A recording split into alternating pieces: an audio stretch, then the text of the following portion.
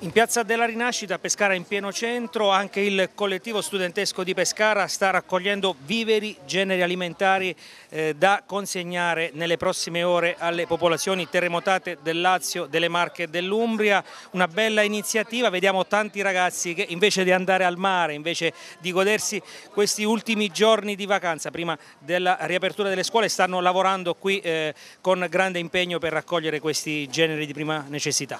Noi pensiamo che sia comunque un'iniziativa iniziativa necessaria in questo momento per stare comunque vicini a una popolazione che eh, possiamo diciamo, portare nel cuore anche per la nostra vicinanza.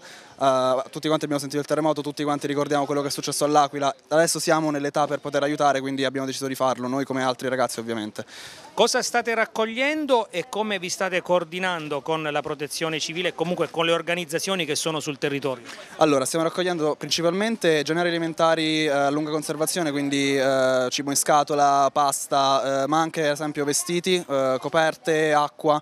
E mh, mm, ci sono vari punti di raccolta qui a Pescara eh, che si dividono i vari, diciamo, eh, i vari, generi che stiamo raccogliendo, ad esempio la Croce Rossa che accetta acqua, eh, latte in polvere, la Protezione Civile che accetta cibo eh, e coperte. E stiamo ovviamente dislocando a ogni associazione ciò che serve. Avete iniziato ieri, andrete avanti ancora per diversi giorni? Allora, abbiamo iniziato ieri alle 2 e questo quindi è il secondo giorno, oggi abbiamo deciso di fare sia mattina che pomeriggio, visto che ieri c'è stata un'affluenza davvero davvero inaspettata, siamo stati effettivamente molto contenti di vedere che questa iniziativa ha avuto effetto.